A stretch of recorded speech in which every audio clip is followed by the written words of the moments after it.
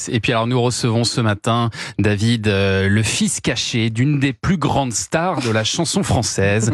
Voici, euh, cher David Hallyday, euh, David Hallyda. Ah, yes Je suis très heureux de te rencontrer, David. Nous partageons notre prénom, mais aussi la célébrité de nos parents, l'amour de la musique et notre passion pour la Formule 1. Ah, vous êtes aussi passionné par la Formule 1. Oui, j'ai Finalement, fait, fait tous leurs sors du hôtels. bois. Il était temps, il était temps. Exactement, oui, mais je suis aussi fan de la Formule 1 parce que j'ai fait tous leurs hôtels. Vraiment. Ah. Et il y, en a, il y en a 172.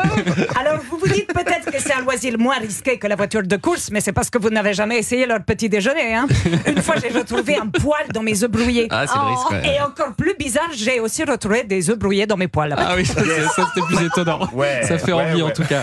Et alors, euh, vous faites aussi de la musique euh Oui, ah, alors moi, je compose de la musique originale pour des publicités. Ah, intéressant Oh oui. ça. Je sais bien que tu l'adores. Tabasco, Tabasco, même si te file la gastro. Tabasco, Tabasco, tu en redemandes encore. Tabasco, Tabasco, même si tu pètes quand tu dors. Ah, c'est très joli. ça, va marcher. Oui. ça me rappelle une autre Ça chanson. un hein. tube, ça me rappelle jamais. quelque chose. ouais. Ah, mais Ouais. Si ça vous rappelle quelque chose, c'est normal. C'est à ça qu'on reconnaît les grands chefs-d'œuvre. hein. On a l'impression de les avoir déjà entendus alors que c'est la première fois. Euh, tout ça, David, c'est marrant parce qu'on a un schéma familial très similaire. Moi aussi, j'ai une demi-sœur. Ah oui, elle s'appelle comment? Amanda Lida.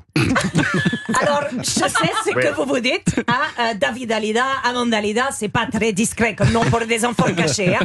Mais c'est Orlando qui a choisi. Et comme vous le savez, Orlando, il est aussi discret qu'un char, à la Gay Pri- un char de la Gay Pride à un enterrement. en effet, en effet. Et alors, vous, est-ce qu'avec votre sœur, vous allez faire un duo comme euh, David Hallyday avec Laura Smet? Euh, non, pas du tout. Ma sœur n'est pas une artiste, hein, mais elle a aussi un métier en rapport direct avec notre mère Dalida, puisqu'elle est ophtalmologue. Oui, elle est spécialisée dans la rééducation du strabisme. Elle a eu beaucoup de clients célèbres. hein. Elle s'est occupée de Maître Gims, Gilbert Montagnier, les Daft Punk. Ah ouais, ouais, dis donc, du coup, pas évident de savoir si ça, si ça a marché. Hein. Ouais. Et on peut entendre euh, d'autres de vos pubs en ce moment ou pas? Oui, euh, Ouais. bien sûr, j'en ai fait une récemment pour la filière porcine. Alors, Jambon Huerta, tu me donnes tant de gras, du diabète et cholestérol dans le foie. On a un coup de fil de la régie euh, publicitaire qui est ravi, merci.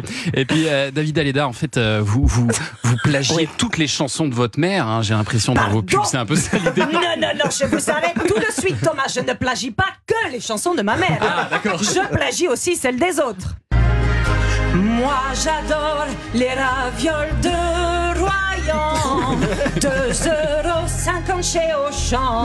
C'est très enthousiasmant. Très. Oh là, pitié David, ne me demande pas d'argent pour la chanson que je t'ai piquée. C'est un bon investissement. Et je peux te filer 20%. Ah, magnifique Bravo. Ah ouais. Merci David Alida. Alors, on vous laisse voir tout ça avec la SACEM. Et merci Cécile Marx qui est en spectacle le 11 mai au Petit Palais des Glaces à 19h30. Elle est bluffante cette David. Alida.